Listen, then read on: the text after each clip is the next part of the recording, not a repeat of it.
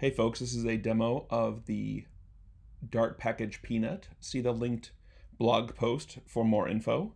You'll see I have this little demo that's set up to use Flutter for Web that demos a box plot. And this link right now is dead. There's no, um, nothing on that uh, github.io URL, so let's fix that. Here's my repository. I really recommend people in general use a Git GUI. I use SourceTree, which I really like. Um, it really helps, especially when you're dealing with multiple branches.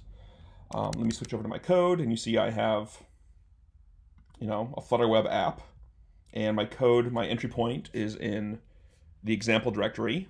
This could be any Dart web app. I use this for Angular stuff or just other random things. Um, right now this is a Flutter web app. So let's go to the CLI and let's load CLI in one half and my um, git view in the other. I'm gonna run the peanut command. So let's do um, peanut dash d example. I'm gonna give it a directory and you'll see that I'm running under the covers. I'm actually running pub run build runner build with a release flag and a bunch of other magic. And so this is building things.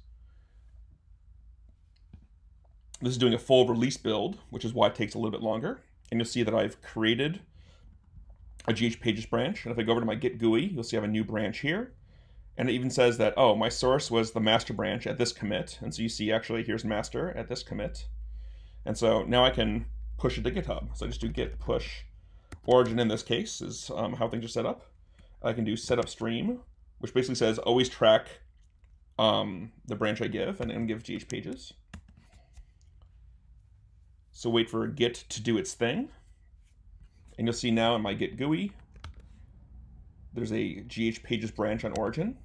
And if I switch over to Chrome, you'll see that I have two branches now, one with GH pages and if I navigate to that URL, which is basically my username.github.io slash the repo name, so boxplot in this case, and there's boxplot.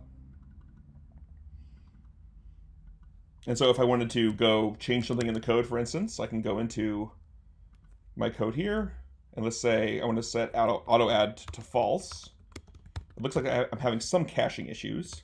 Let's reload this. This should actually be, there it goes. So the deployed version is uh, running auto. So we're moving around without me doing anything. Let's set that to false here. Let's go back to my command line. Let's um, commit this into master branch and say no auto. And let's run peanut again. So again, a full production build using Dart to JS. So this is a little bit slower. But once this is done, it should take about 10, 12 seconds. There's the output. And if we go back and look at um, the repository or the, um, yeah, I guess the Git repo, you'll see here that, you know, my master branch, there's the commit that changed that, and I have an updated GH pages branch. And this is actually um, a fun way to see some of the, the cool stuff of Dart to JS. You can actually see the deltas in the JavaScript. So the JavaScript compiler here clearly was smart and realized that when I set that to false, a bunch of stuff wasn't needed. So you see more than a few lines being changed here. And you also see that the commit that this references aligns with the master commit. And again, I can push both of these to GitHub now. So now I'm going to push both the GH pages branch and master branch to GitHub.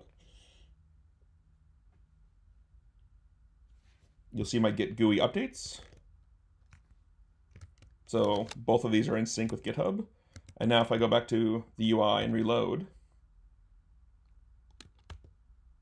and this is the one thing that's a little bit funky, is that it can take a minute or two for GitHub to update. So you kind of have to do a bunch of refreshing.